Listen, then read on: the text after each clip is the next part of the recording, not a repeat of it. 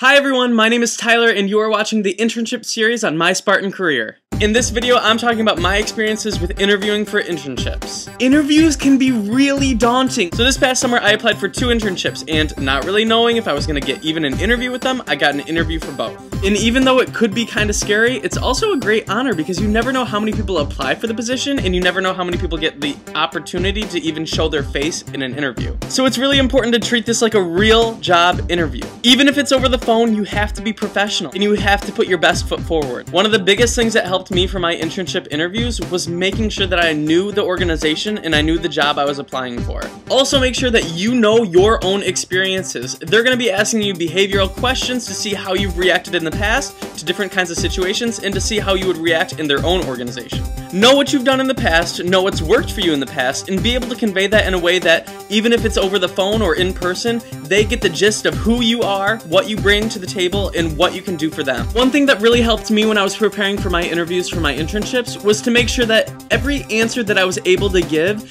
really conveyed that I was interested in producing a mutually beneficial relationship with that organization. By that I mean, yes, I want to help them in all the ways that I possibly can, but at the same time, I want to also get stuff out of the experience of working for them. One final tip that really helped me when it came to interviewing for my internships was to treat it like I already had it. I'm not saying you should be cocky in any sense of the word, I'm just saying you should treat it like you deserve it. And if you think you deserve it, then you'll be better at the interview process as a whole. You'll have a much easier time with the interview process, and you might just get the internship you've always dreamed of. For more information, check out myspartancareer.com, or for more of this series, check out youtube.com slash spartancareer.